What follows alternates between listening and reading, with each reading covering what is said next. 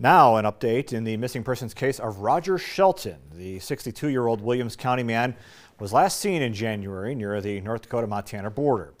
Shelton said to have traveled back to his Williston home from a border casino in the evening hours of January 5th.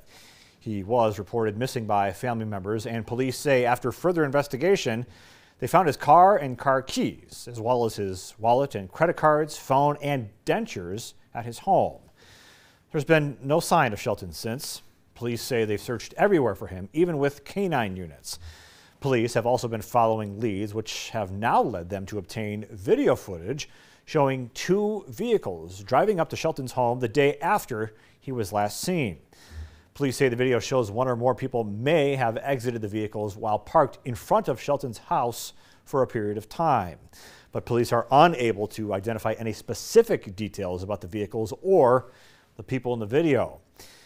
If you have any information about the vehicles in front of Shelton's house, which is located in the Freedom Meadows neighborhood in Williston on January 6th between 6 and 7 in the morning, you're asked to contact Williston Police at 701 577 7700.